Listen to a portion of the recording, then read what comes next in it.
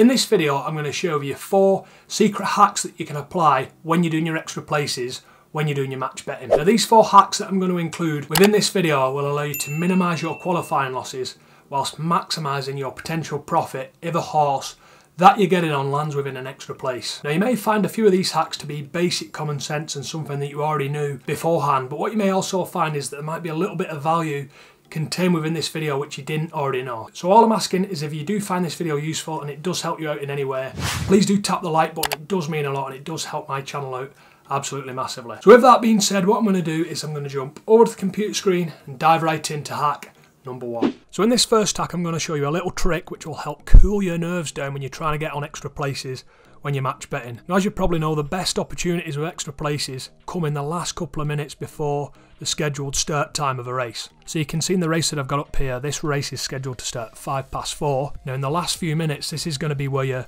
occupied with your extra places. So you're placing your back bet with the bookmaker, you're placing your win lay bet on the exchange, and you're also placing your place lay bet on the exchange. Now what can be really stressful Number one, the odds are going to be flying around all over the place. And number two, you've obviously got to bear in mind that you can't afford to be taking your bets in play. So when you go in play, you've got to have a back bet matched. The bookmaker, of course, you've got to have your win lay bet matched and your place lay bet matched. So obviously, you've got to be focused on getting these bets matched before the race goes in play. Now, if you're new to horse racing, the time specified as the start time, so in my case here it's five past four, isn't always actually the case. You know, this is the scheduled start time. It doesn't mean that exactly five past four all these horses start racing. It's not like football where all the matches start at 3 pm every Saturday. That's just the scheduled start time. Sometimes it can go a few minutes after the scheduled start time before the race actually starts. So what you can do is you can go over to Betfair's website and find the race in question which is this race here, this 5 past 4 race. Click on it and you can actually click this button in the top right hand corner.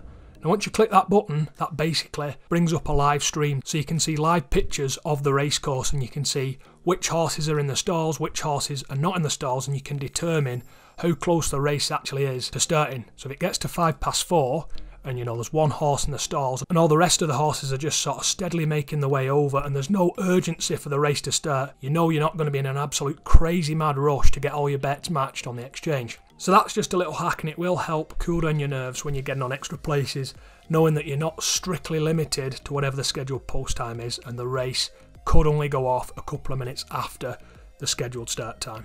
Okay, so hack number two, I like to call the failsafe. Now the failsafe is like a is literally what it says on the tin. It's basically a last resort to get out without uh, without taking any of the bets that you were initially hoping to get on. So get out for absolutely nothing and get out for a scratch, basically. Now you'll only be able to do this efficiently on some of the higher quality bookmakers like Bet365 and Sky Bet to a certain degree, and some of the big mainstream bookmakers. And basically, it relies on the bookmaker, let's say Bet365 in my example, allowing you to cash out after you've backed a horse each way. So as you can see in this video that I'm playing here, I'm backing the horse War Advocate, which has back odds of 41.0, £20 each way. I'm placing my back bet, so you can see I've got a, a back bet placed with a bookmaker, £20 each way at back odds of 41. And as you can see, that is displayed in the My Bets feature of Bet365's website. Now, what very well could happen, someone comes in with a massive bet on the exchange and it pushes the price way out, or maybe there's a, a big reason as to why people don't like this horse or why they do like it, and basically the price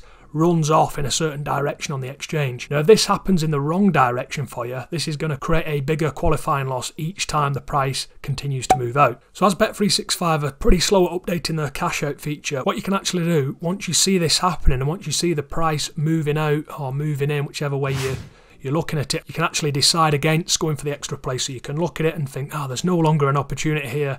The price has moved off too far in one direction on the exchange. I'm just going to cancel this. I'm going to scratch this out. I'm going to try again on a different horse. And the way you can do that is you can just jump to the bookmaker you've got the back bet with. I've got it with Bet365 here, and then you can just click cash out. Now, in most cases, you can actually get your full stake back. Sometimes the cash out will be a little bit below the stake that you've used, but in that case, you've just sort of got to weigh it up. Is it better to just cash out for a small loss and take the hit with the bookmaker, or is it better just to place your win lay bet and your place lay bet and go at it that way? So that's a little hack I like to call the failsafe. Some mainstream bookmakers are going to be better than the lower quality bookmakers, which just give you a terrible margin on the cash out straight away as soon as you place the bet. But some of the better bookmakers like Bet365 and Sky Bet to a certain degree will give you pretty much the whole cash out once you place your bet. And if the price is running away from you on the exchange for whatever reason, you can just decide to scratch your position, cash out with a bookmaker, and try again on a different horse. Okay, so this next hack is going to be for people with gubbed accounts or stake restricted accounts with bookmakers. So as you probably know, I'm guessing you, you do know if you follow this channel and you're a match better, bookmakers aren't in the business of keeping match betters and people who are been around for very long. So they figure out you're you're a match better and you're taking value, and they'll generally ban you from free bets, and they may also restrict the stake that you're allowed to use on your bets. So let's say the bookmaker does this and they restrict us to £6 or a £3 each way stake. So I'm going to change the default stake up here to £3. I'm going to refresh the extra place matcher. Now you can see once we've done that we've got a £3 each way stake on all the selections along the extra place matcher. If we look at the top runner, we can see the qualifying loss is 52p, but the extra place profit is £6.38. Now obviously you're getting that on second, third and fourth, so that might not actually be too bad value, but let's assume that they're only paying out on one extra place. So you can see a 52p qualifying loss for one extra place of £6.38 isn't amazing, so what you can actually do is you can actually get on a horse with higher back odds. So if we look down here at this one, Trop Bay or Bayou, whatever that says there. This has back odds of 26, and if you were to place £3 each way backstake with a bookmaker at back odds of 26 and lay using these stakes here you can see the qualifying loss would be a pound but the extra place profit would be 17 pounds. Now obviously the rating is a little bit short on this one. The rating is 83% we just make this a little bit of a better rating? Let's put that at 36 you can see that's now a 91% rating and you can see the value that you would get just from a small each way backstake with a bookmaker on in this case a 90% rating you can see the qualifying loss would be 50p, but the extra place profit would be £17.50. Whereas if we look at the top one, which is also a 90% rating, the qualifying loss is also 50p, but the extra place profit is £6.38. So if you've got gubbed accounts and stake restricted accounts, you can still get some good value out of them using horses with higher back odds. Now, of course, the bookmakers unfortunately aren't stupid and eventually they'll figure out what you're doing again and then you'll be stake restricted to probably about zero. I know this has happened to me quite a lot. I've used this on quite a few gubbed accounts, and they've basically just come back and said, right, your max stake is now zero pounds and zero p. Have fun betting on our platform, so you can see they will figure it out eventually, but you can still squeeze out some value even though the accounts have been stake restricted. So for this one, this kind of ties into what I was saying on the first hack, where the, the races don't always go in play at the scheduled start time. So obviously in this example, the scheduled start time is quarter past five. It's pretty rare that the race actually starts starts exactly on that time. Usually it's like a minute or two minutes or three minutes after scheduled post time before the race actually goes in play. Now with that knowledge and with actually using the live video as I showed you earlier, you'd find the event, click on live video and that would load the video up.